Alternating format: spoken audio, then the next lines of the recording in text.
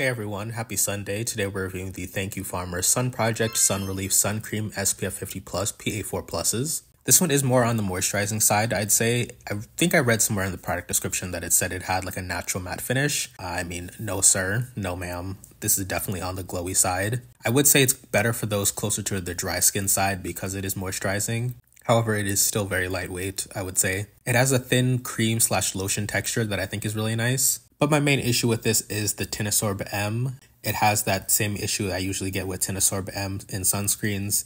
I don't notice much of a white cast on this for me, but it is more visible later on the day after oils start mixing in with it and after reapplication maybe. It does leave grayness and residue in my facial hair areas. This one is marketed towards those with sensitive skin and being good for those with acne prone skin. So if you don't have an issue with Tinosorb M in sunscreens and you don't have facial hair, I think this one would be a good one to check out. If you try this one for yourself, let me know what you think.